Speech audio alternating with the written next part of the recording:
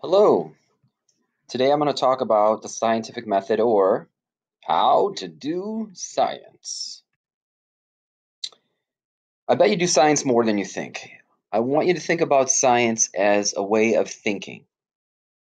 If you think about the most important part of science, it's really about three things. Observation. What do you notice? Guess and check. What's making that happen? How can I find out? I wonder. And explain. What's the cause? What's the effect? Three things. Notice. Hmm. Guess and check. I wonder. Explain why. Let me tell you. It's also called the scientific method. You probably do this a lot. You try to use something and it didn't work, you probably use the scientific method. Hmm, why won't my cell phone turn on? I wonder, what will happen if I plug it into the wall? Oh, look at that, it turns on. If you've ever seen something that you didn't understand, you might have used the scientific method to figure out what's going on. It's a problem-solving approach. It's it's a lot of things. We might talk about this a little bit. In science, we like to use fancy vocabulary, but the ideas are the same. A hypothesis is a guess. A conclusion is what happens after you test out your idea. All of these things probably sound familiar. They are just fancier, more specific words for the same things. For example, notice. The method begins with an observation. That means to notice something, right?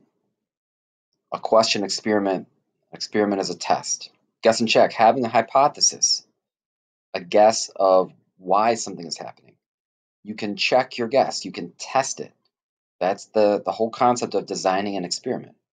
And explaining why means to communicate your results. If it's just something that happens with you, then there might be something else going on. If you can't explain your results and other people can't check them, then it's not necessarily science.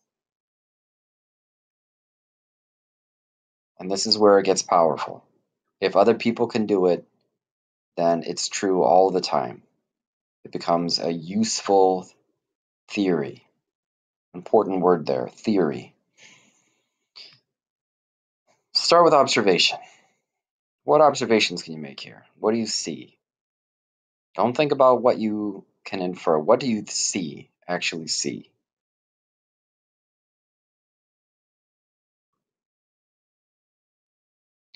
What about here? What observations do you see?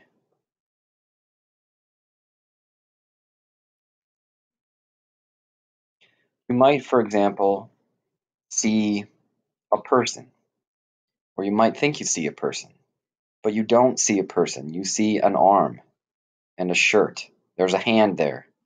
You see a thumb. Okay, you don't know if they have legs. You don't know if they have another arm. You don't see it.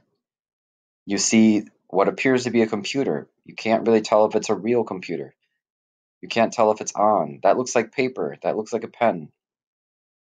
You don't know if this is on Earth. You there's lots of assumptions you might make by looking at this, but you've got to observe what's actually there and try not to let your inferences confuse what you actually see. Same here. You see three people, it looks like, the woman looks a little bit older. You can start to make inferences about how she's feeling based on her facial expression, but those are only inferences. Right? You might make inferences about when this picture took place based on the fact that it's black and white, but if you use a black and white camera, you can take this picture tomorrow. Okay, what do you actually see? Black and white picture, one woman's face, the backs of two uh, what appear to be younger people's heads with haircuts that might be old fashioned. Anything that you can observe, any data, anything that you can gather through your senses counts as data and can be considered an observation. Tasting something can be an observation. Not that you should taste chemicals, but if you were to taste a, a beverage, the taste of the beverage can help you understand what's in it. If it tastes salty, there's probably salt in it. If it tastes sour, it's probably acidic, etc. How does it smell? And so on.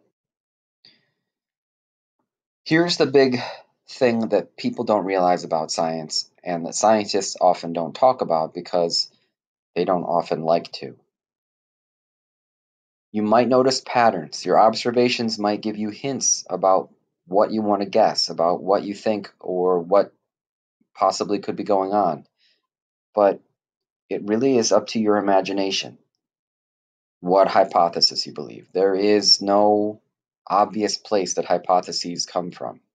You just make it up. It just comes from your what you think.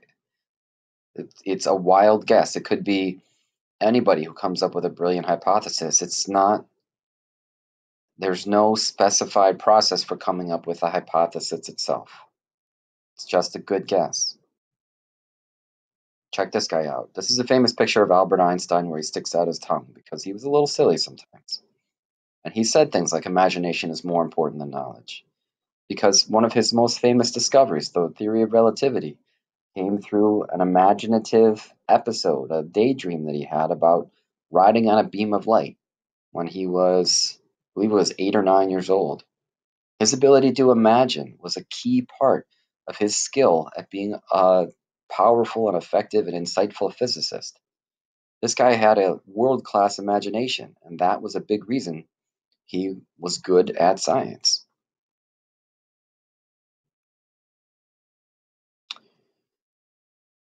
So, again, we're trying to boil this down into the most useful and most powerful, but still meaningful process we can.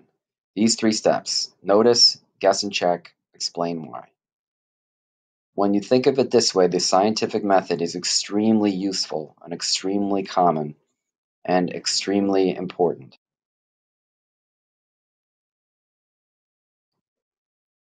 The end.